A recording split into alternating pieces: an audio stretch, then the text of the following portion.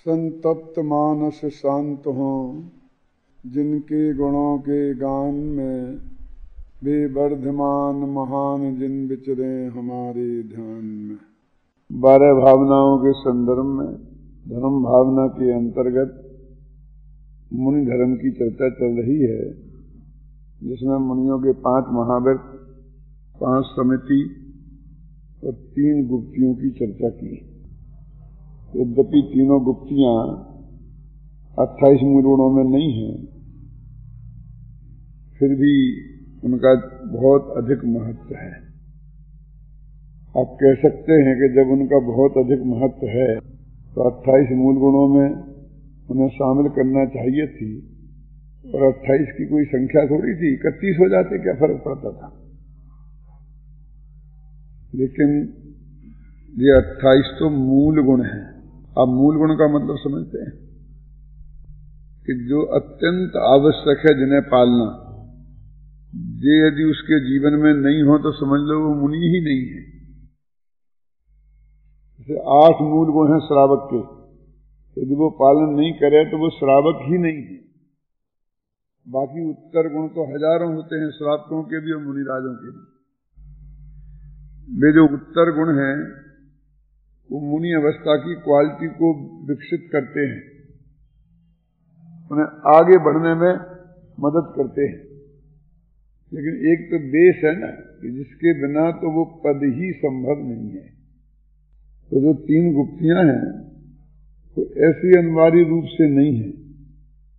अट्ठाईस मूल गुण के रूप में उनकी स्वीकृति नहीं है, लेकिन वो होती हर मुनिराजों के यहाँ हर मुनिराज में पालते हैं। क्यों? मन में बस को, बस, मन को बस में रखना इतना आसान है? मनोगुप्ति है ना? कि मन कितना चंचल है कि कहीं भी पहुँच सकता है। ऐसे ही वाणी का है और काया का भी है। काया शरीर कमज़ोर हो जाए, कोई विकृति हो जाए तो कैसे सोचिए काया हमारे कंट्रोल में रहने वाली कोई चीज़ है। ये बहुत जो उच्च कोटि के मुनिराज होते हैं, ये तीन गुप्तियाँ उनके ही कलती हैं पूरी तरह से। और कुछ न कुछ रूप में तो प्रत्येक मुनिराज ने पालते निर्दोष आगे होना चाहिए उत्तर गुणों में होती हैं, वैसे यहाँ नहीं हो सकती है। त्रिगुप्ति के धारी जो मुनिराज होते हैं, वो तो अवधि ज्ञान, मन पर ज्ञान सहद होने वाले मुनिराज होते हैं। राजा सैनिक की जो कहानी आती है, बौद्ध गुरुओं के साथ जो चेलना के साथ ने व्यवहार किया था, उसके बदले में राजा सैनिक जैन साधुओं के साथ व्यवहार करना चाहते थे, और इसलिए वो चेलना क्या करती थी कि राजमहल के ऊपर महल में, भवन में बैठी रहती खिड़की में, और कोई मुनिराज राजमहल की तरफ़ आते हुए दिखाई देते तो वहाँ से वो तीन उंगलियाँ बताती थी। ये कहानी सुनिए। और उसका अर्थ ये था कि तुम तीन गुप्तियों के धनी हो तो इधर आना अन्यथा नहीं आना। क्योंकि जो तीन गुप्तियों के धनी होते हैं, वो तीन ज्ञान के धारी भी होते हैं। और अवधि ज्ञान के धारी होते हैं, मनपरा ज्ञान के धारी होते हैं तो सामने के मन में जो छल है, अथवा जो वो गड़बड़ करने वाला है, धोखाधड़ी, वो उनको ख्याल में आ जाती है। और दूसरी वो तीन गुप्तियाँ उनके मन वचन का कंट्रोल में होते हैं तो फिर क्रोधित नहीं होंगे। मन कंट्रोल में है, वचन में है। यानी इन विपरीत परिस्थितियों में तुम अपने को संभाल सको तो यहाँ आना। फिर वो बहुत लंबी चौड़ी कहानियाँ चलती हैं। कि एक मुनिराज ने देखी, तीन बताए तो वापस चले गए, दूसरे वापस चले गए, तीसरे वापस चले गए। फिर उनसे पूछा कि तुम क्यों वापस आ गए? तो उन्होंने कहा था तीन गुप्ती नहीं थी मेरी तो तुम्हारी तीन गुप्ती कैसे नहीं थी? तो बहुत कहानी आती है। थोड़ा सा नमूना बताता हूँ कि एक दफ़ा मैं आहार करने के लिए गया। मैं आहार कर रहा था। बिल्कुल नीचे को निगाह थी। एक महारानी मुझे आहार दे रही थी, राजा रानी दोनों साथ में थे। तो उस रानी के पैर के अंगूठे पर मेरी निगाह पड़ी तो मुझे एकदम ये याद आ गया कि ऐसा अंगूठा तो मेरी पत्नी का भी था, मेरी रानी का भी था। बस तो इसलिए मैंने समझ लिया कि मेरा मन मेरे काबू में नहीं वाणी से तो मैं कुछ नहीं बोला। काया से भी कोई एक्शन नहीं हुआ। क्या? सिर्फ़ मन में मन में भी ये विकल्प नहीं आया कि ये सुंदर है। उसके लक्ष्य से कोई बात नहीं आई। जो अपनी विवाहता पत्नी थी ग्रस्त अवस्था में, उसी की याद आई। यदि उस पे ही लक्ष्य चला जाता, और उससे कोई विकृति खड़ी होती तो तो फिर वो तीन गुप्ती मुक्ति तो कहा महावीर अनुवृत्त भी नहीं रहते। लेकिन मनोवृत्ति के लिए उन्होंने एक उदाहरण दिया। ऐसे उन्होंने कहा, मेरे पे काय गुप्ती नहीं थी, मेरे वेतन गुप्ती नहीं थी। ऐसे गुप्तियों का स्वरूप शरणिक पुराण में महारानी चेलना के माध्यम से, कहानियों के माध्यम से बहुत अच्छा समझाया है। तो मुनिराज तो सच्चे थे। अट्ठाईस मुरण के धारी तो थे। लेकिन तीन गुप्तियों के धनी ऐसा भी नहीं है कि उसे मन में चाय से खोटे भाव आते रहते हों।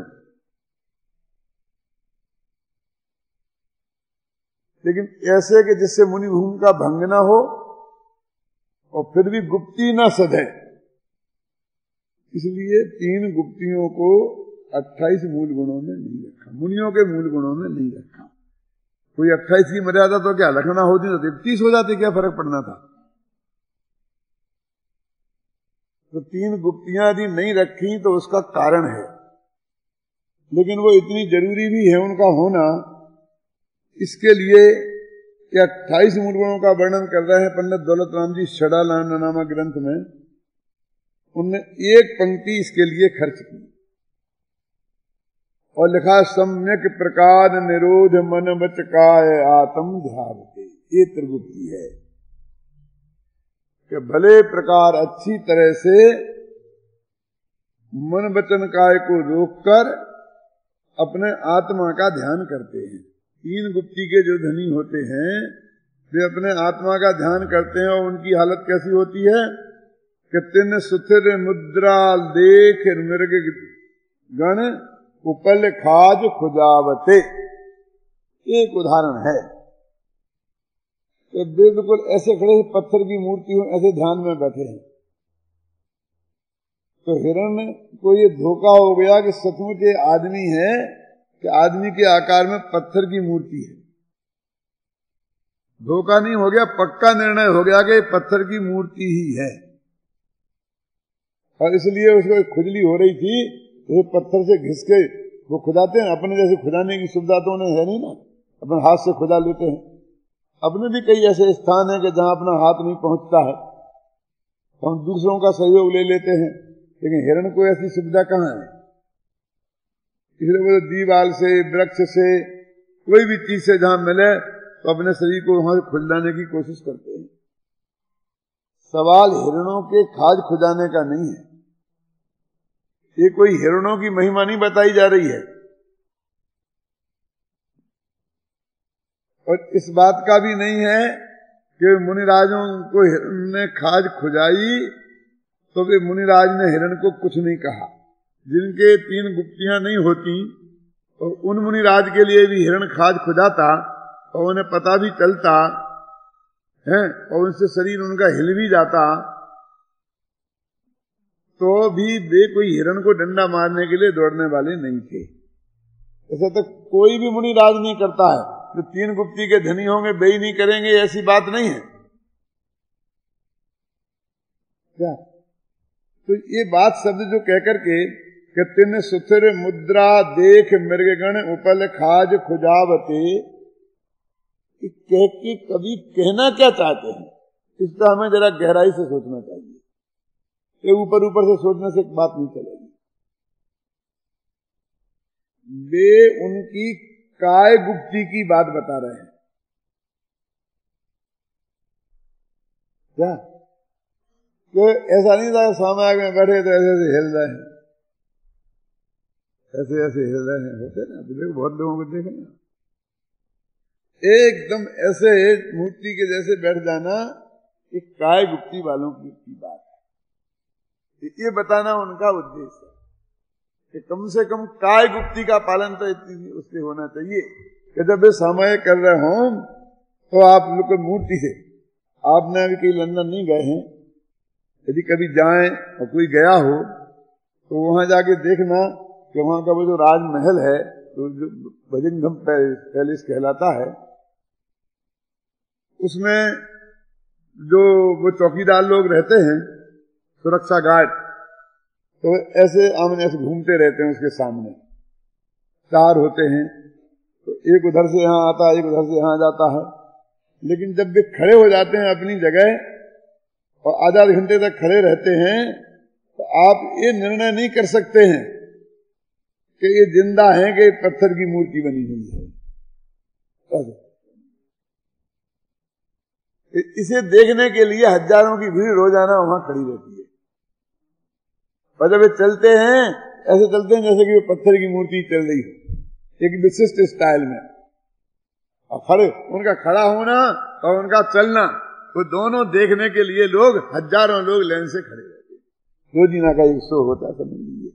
रोजीना का टूरिस्ट लोग जाते और उनकी स्टेच्यू बना बनाकर कई जगह रखे हुए हैं।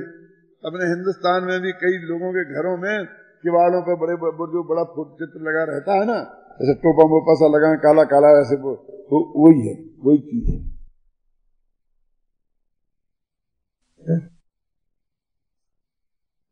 ऐसा और भी दिखाते हैं, आदमी में अभी मद्रास के बगीचे में भी, कि अपने घूमने जाते हैं, शाम को तो हम गए तो वहाँ हमने देखा कि वो ऐसे ही आदमी ऐसा खड़ा हो जाता अपन बिल्कुल उसके समझेंगे कि देखो स्टेच्यू खड़ा है। और अपन दस बीस, पचास लोग खड़े खड़े देखते रहेंगे, इतने में वो चल देगा। और दूसरी जगह जाके ऐसा खड़ा हो जाएगा तो पत्थर, दूसरी मुद्रा में ऐसा हो जाएगा अभी ऐसा खड़ा था ऐसा खड़ा हो जाएगा दूसरी मुद्रा में। क्या? और वो दस पाँच मिनट तक बिल्कुल ऐसा खड़ा रहेगा कि अच्छों अच्छों को शक हो जाएगा। जैसे कोई कलाकार वो बढ़िया माना जाता है ना, कि वो मूर्ति बना के खड़ी कर दे तो लोगों को शक हो जाए कि ये ज़िंदा आदमी होगा। उसका मतलब कलर और उसकी सब चीज़ें इस तरह से मेंटेन करे। ऐसे ही ज़िंदा में स्टेच्यू का शक हो जाए। ये बात बताना चाहते हैं यहाँ। इसके लिए जो उदाहरण दिया है, क्या लिखा देखो, कि तिन सुथिर मुद्रा देख मृग गण, उपल खाज खुजावते। मेरे गण उसे पत्थर समझ के अपनी खाद खुदाते हैं। वे कोई मुनिराज से अपनी खाद नहीं खुदा रहे हैं। चेतन प्राणी से अपनी खाद खुदाने की कोशिश नहीं कर रहे हैं। मन ऐसी काय गुप्ती उनकी थी। और ऊपर तो बात कही थी सम्यक प्रकार निरोध मन बच काय आत्म ध्यावते। अब यहाँ बहुत मार्मिक बातें विचारने की है कि यदि अपने शरीर को एकदम ऐसा हम स्थिर रखने की कोशिश करें तो आत्मा का ध्यान करेंगे, शरीर का ध्यान रखेंगे।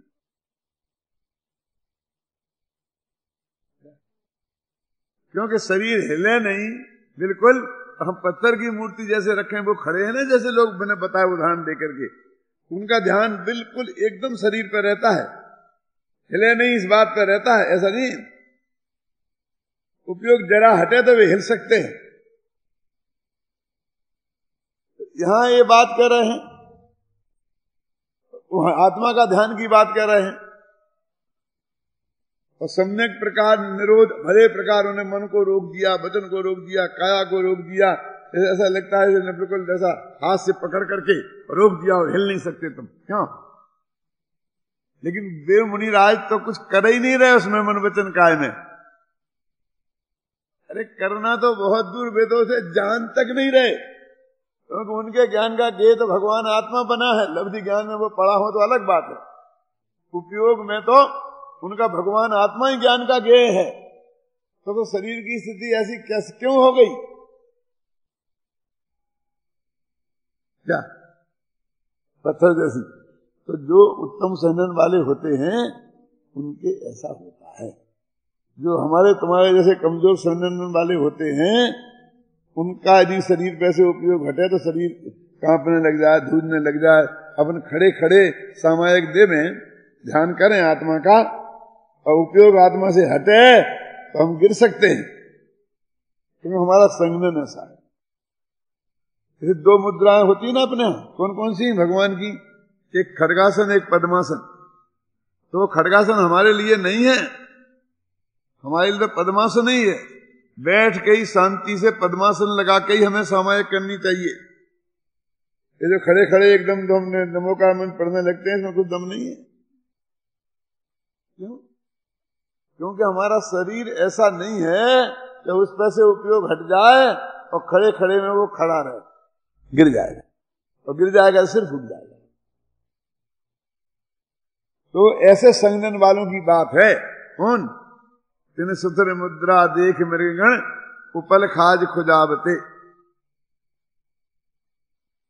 तो वे तीन गुप्तियाँ अट्ठाईस मूल गुणों में मुनियों के मूल गुणों में शामिल क्यों नहीं की गई?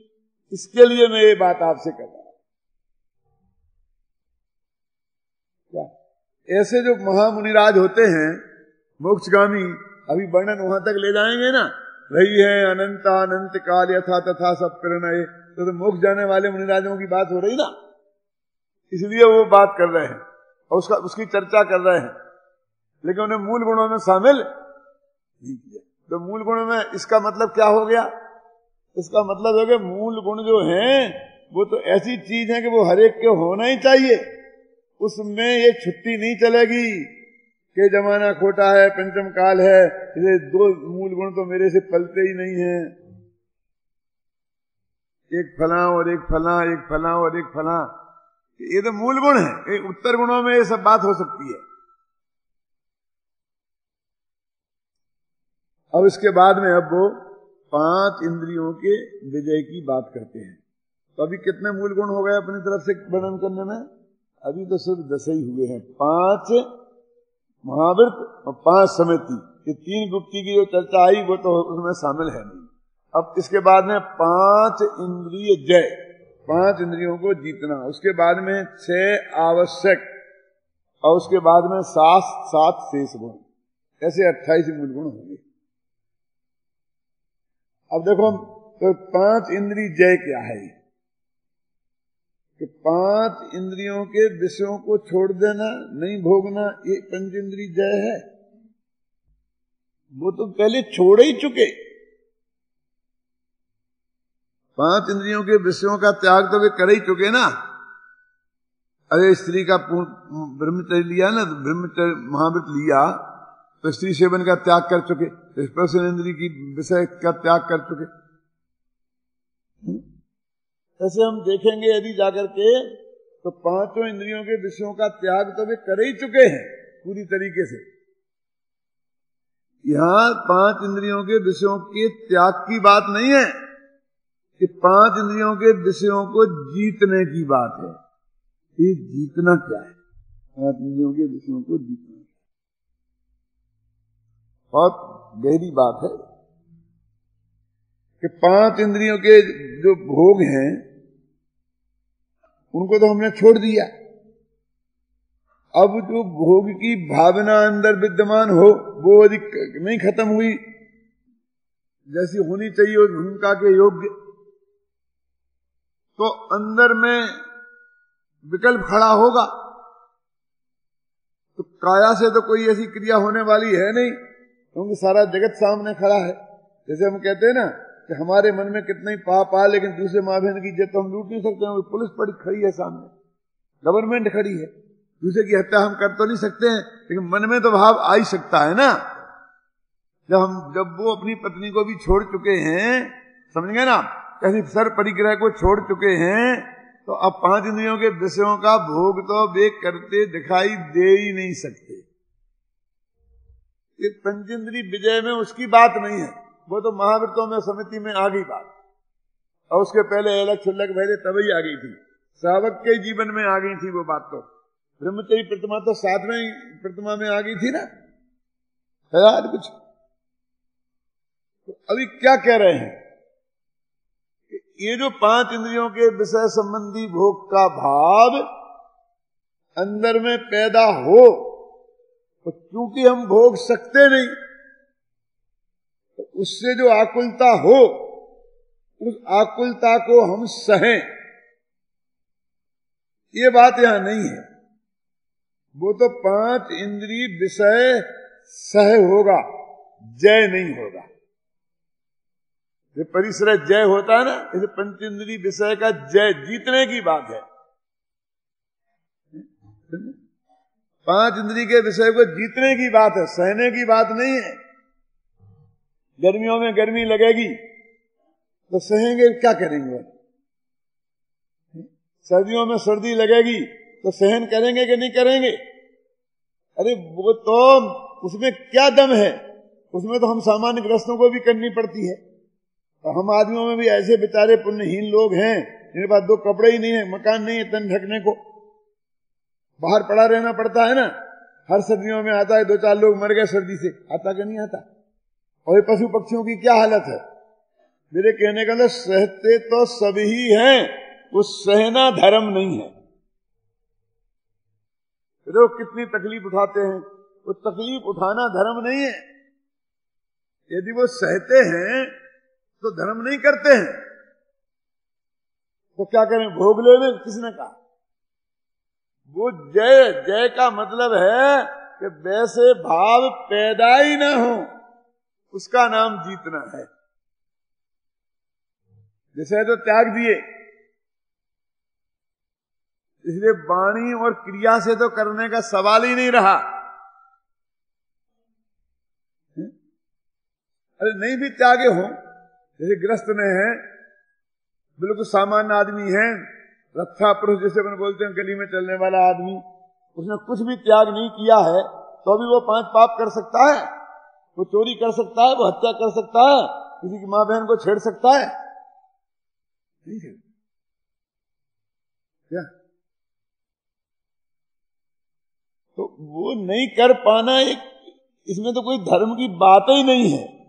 लेकिन उनने अपने बुद्धि पूर्वक छोड़े हैं। हाल में है ना? उसमें कुछ धर्म की बात हो सकती है, लेकिन अंदर में काया से, वचन से तो बन गया छोड़ने से। अब मन में आ जाए तो वो, फिर वो, उसको किसी तरह सह जाए, वो तो सह होगा। और वो मन में आए ही नहीं। उसका नाम है पाँच इंद्रियों के विषय की जय। अब आप कहोगे, फिर तो मतलब क्या रह गया? उसका तो भोगे कहीं नहीं। मैंने आज सह का क्या मतलब है? तो हमने त्याग ही दिया तो फिर क्या? भैया, पाँच इंद्रिय के विषय का अर्थ तुम समझते नहीं हो ऐसी बात करते क्या अर्थ नहीं समझते हैं? ये अर्थ नहीं समझते हो कि बहुत से विषय तो हमने छोड़ दिया हम बुद्धिपूर्वक भोगते हैं। लेकिन जैसे स्पर्शन इंद्रिय की बात करें अपन तो स्त्री सेवन तो छोड़ दिया, लेकिन स्पर्शन इंद्रिय के विषय तो आठ है ना। ठंडा गरम, हल्का भारी, रूखा चिकना, कड़ा नरम। अब इनका संयोग तो होगा कि नहीं होगा? ठंडी हवा चलेगी, ठंडी लगेगी, गर्मी लगेगी, गर्म लगेगी। कठोर स्पर्श होगा, भीतरी का मुलायम स्पर्श होगा। ये ये विषय तो आएँगे तेरे होंगे। ठंडी हवा चलेगी, तू उनसे कैसे कैसे त्यागेगा, बोल। मैं ठंडी हवा नहीं खाऊँगा, मैं गर्म हवा नहीं खाऊँगा। ऐसा त्याग करेगा? त्याग में तो स्पर्श महिला का सेवन नहीं करूँगा तो ऐसा त्याग हुआ झगड़ा खत्म। लेकिन विषय, स्पर्श इंद्री का विषय आठ विषयों को जीतना चाहिए ना। समझे ना? तो वो कैसे जीते आठ विषयों को? तो उसको आठ विषयों को जीतने का मतलब क्या? क्या ठंडी हवा आएगी, गर्म हवा आएगी, अब अपने अपने कुड़मुड़ाता रहे मन में। और सहे, अब सहना तो पड़ेगा जब निर्णय दिगंबर दशा हो गई। क्यों? आहार को निकलेगा तो बाहर में ठंडी हवा चलेंगी तो सहना ही पड़ेगा, अंदर भी तो लगती ही है ना। क्यों? उसका नाम जय। ऐसे आठ इंद्री के जो विषय ठंडे गरम नरम, ये जो आपतित हैं, जिन्हें वो खुद नहीं भोग रहा है, लेकिन सामने से आप पड़ रहे हैं तो उनकी वजह से चित्त में आकुल व्याकुल नहीं हो और कोई फ़र्क ही नहीं पड़े। उसका नाम है इंद्री का जीवन अब ऐसे मैंने इस प्रश्न पर थोड़ा घटाया ना, ऐसी पाँच इंद्रियों पर घटा सकते हैं, घटाना चाहिए। अभी आज तो समय नहीं है इसलिए कल के व्याख्यान में अपन इस बात को घटाएँगे कि पाँच इंद्रियों के विषयों को कैसे जीता जाता है? जैसे पंचेंद्री जय जो मुनियों के पाँच मूल गुण कहलाते हैं। अट्ठाईस में से पाँच का उनका नंबर है भाई साहब। वो साधारण नहीं समझना उसमें बहुत गहराई है। जिसकी चर्चा अपन कम कल, कल करेंगे। ओम शांति शांति शांति। जावाणी के ज्ञान ते सूझे लोकालोक सोवाणी मस्तके नमो सदा देते हैं